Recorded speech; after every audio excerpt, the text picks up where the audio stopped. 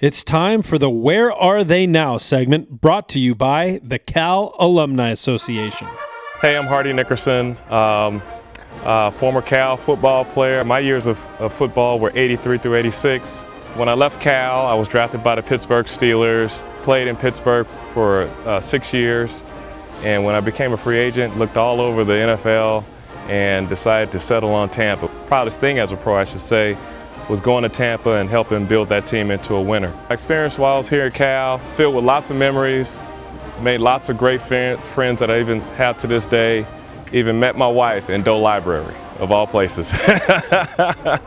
You're not supposed to do this in Doe Library, but I would, at that time, you couldn't have food or drinks in there, so, but I would kind of sneak in my backpack. I'd have my sandwiches and all that stuff in my bag and a couple drinks. So um, I remember going and sitting in my little corner that I always sit in and looking across and seeing this girl sitting there. And I was like, man, she look, she's kind of cute. so I'm looking at my book and I look over, look at my book, look over. And the second time I looked up, she happened to look at me and I was like, hey, how you doing? And you know, that was totally out of my character because I was the shyest guy on campus probably, you know, no, never said a word. And so it just so happened I had I had two cokes in my bag. so I go sit next to her and I go, "Would "You like a coke?" and the rest is history.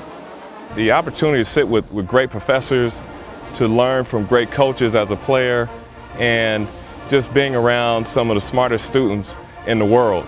And uh, for that, I am always grateful and also go Bears. Where Are They Now is brought to you by the Cal Alumni Association, serving Cal and alumni since 1872. Tell us where you are now. Join today, alumni.berkeley.edu.